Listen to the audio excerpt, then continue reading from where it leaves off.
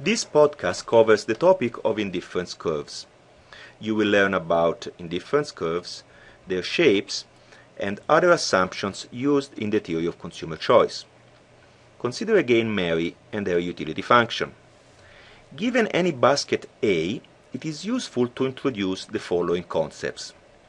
The set of baskets that give Mary a higher level of utility than A, the set of baskets that give Mary a lower level of utility than A, and the set of baskets that give the same level of utility than A. This last concept is very important and is called the indifference curve that passes through the basket A. Let me repeat it. An indifference curve is the set of all consumption baskets that give a consumer the same level of utility. It turns out that the indifference curves and their shape play a very important role in the economics of consumer choice. A very important and common assumption is called non-satiation. A simple version of this assumption says that for any basket A, if you add any positive quantity of all the goods, then the consumer is better off.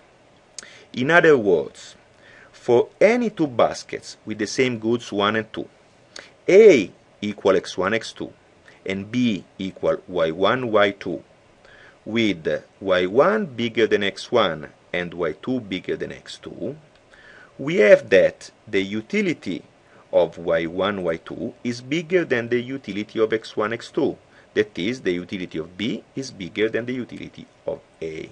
So B is preferred to A because it has more of both goods, right? Does this assumption say that consumers always prefer more to less? That's right. This is another way to explain this assumption. Now, with this assumption, we know that given a basket A, all the baskets in the region to the northeast must give a higher utility to the consumer, and all the baskets in the region to the southwest must give a lower level of utility to the consumer. As a result, it is easy to understand why the indifference curve passing through A is a decreasing curve. And what about the northwest and southeast areas? Good point. We do not know whether a consumer prefers these baskets to A. In fact, some of these baskets will make Mary happier, some will make her less happy, and some she'll be indifferent about. Aha, so the indifference curves have to pass through the points in these regions since we know for sure that Mary is better or worse off in the green and red areas. Yes, and we know this because of the assumption of non-satiation. In fact, the exact shape of the indifference curve requires more information, but for now we can see that it could look like this, or this, or this. None of these indifference curves violate the non-satiation assumption. So are you saying that by making the assumption of more is better, we know for sure that the indifference curves are decreasing? That's right. In fact, the indifference curve will be like the boundary between the baskets that Mary prefers to weigh and those that she does not prefer to weigh.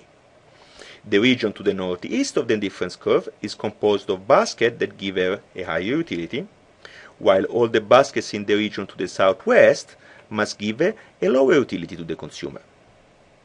Now I want to introduce another assumption that is often used in consumer theory. The assumption is based on the idea that in many cases, not all the time, consumers like diversification. Or in other words, that uh, the average basket is always better, or at least as good, than the extreme baskets.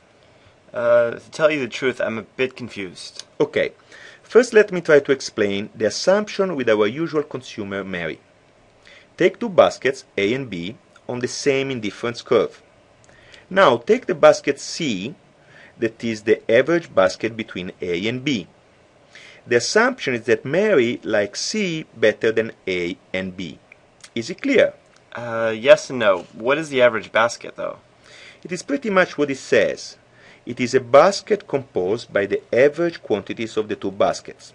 So, for example, if A is the basket containing 3 units of coffee and 1 unit of eggs, and B is the basket containing 1 units of coffee and 2 units of eggs, The average basket C contains 2 units of coffee and 1.5 units of eggs.